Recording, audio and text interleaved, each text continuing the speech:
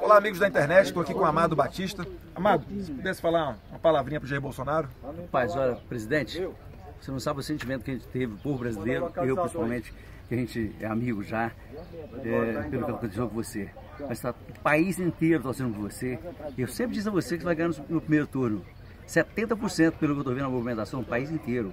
Quando eu falo do meu show, você não imagina a movimentação do povo, os aplausos do povo para você.